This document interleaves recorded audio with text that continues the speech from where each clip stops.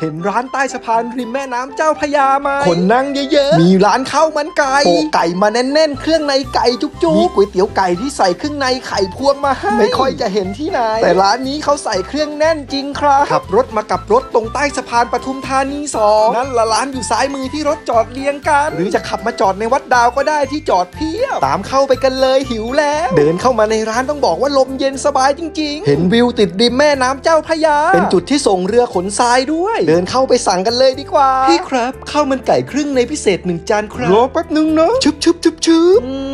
แล้วก็มีขาวเครื่องในบวกตีนไก่พิเศษอีกหนึ่งถ้วยครับ รอสักครู่นะคะ รอบๆก็ยังมีไอติมกะทิมหาชัยทอดมันกุ้งหมูสะเต๊ะเนยกรอบร้านกาแฟโบราณข้าวมันไก่มาเสิร์ฟแล้วเครื่องอย่างแน่นร้านน้ำจิ้มร้อนๆไก่ช้ำๆอือหื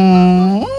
เต็มคำเครื่องในใส่มาจุกๆ ไม่ห่วงเลยครับ ทั้งกืนเลือดตับหัวใจไข่พวงโอกแน่นมาเต็มจานจริงๆ น้ำซุปใส่กระดูกไก่มาให้อีก โอ้ยสดโล่งคอมาตอกก๋วยเตี๋ยวไก่เดินมาปรุงรสชาติตามใจชอบ แล้วก็ยังมีมะละถั่วงอกใบโหระพาอีก ใส่กันไปเลยครับ เต็มถ้วย รสชาตินี่คือหอมเข้มข้น จะมีก๋วยเตี๋ยวร้านไหนบ้างที่ใส่เครื่องในไก่จุกๆแบบนี้ ตีนไก่ก็จะใหญ่ไปไหนเนี่ย ดูความเปื่อยของตีนไก่ดูดปุ๊บหลุดปั๊บเลย แต่ละอย่างนี่ก็ให้เยอะมาก อีกหนึ่งร้านลับที่อยากให้มาลองจริง ๆ